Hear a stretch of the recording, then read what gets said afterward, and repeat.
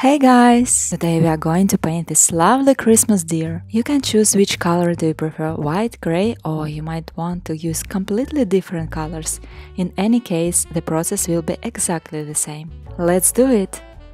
We are going to begin here with a 24 by 24 inch stretched prime canvas. Since I'm making a red deer on a white background, I will cover the canvas with white.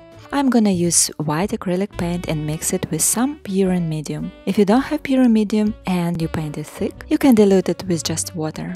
As you can see, I'm applying paint with a roller, so it will be faster and you will get a perfect solid color background. If you don't have a roller, use a white flat brush. Whether you are using a brush or roller, apply every coat of paint in different direction, horizontal or vertical. This will give you an even color result. Let the first coat of paint dry for 30-40 minutes before applying a second one. If you're wondering why I'm painting a white canvas with white color, believe me, there is a huge difference between painted and unpainted canvas.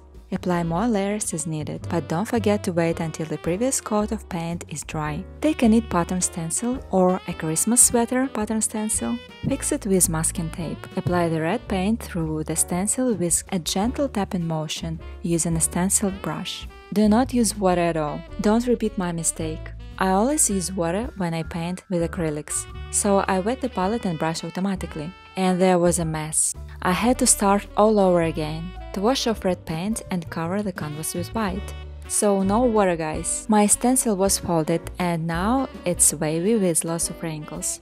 So I have to press the stencil against the canvas with my fingers, that the paint does not flow under the stencil. Each time grab just a small amount of paint. Leave some places less colored, some of them barely painted, as this is a painting and not a fence. And we want it to look more creative. You should get something like this. First, draw a deer with charcoal pencil, as it erases easily once you finish the painting. If you find drawing the deer yourself difficult, then take a ready-made drawing and transfer it to the canvas using tracing paper. Then draw the deer with red acrylic marker. Use different sides of the marker, then your line will be more artistic and beautiful.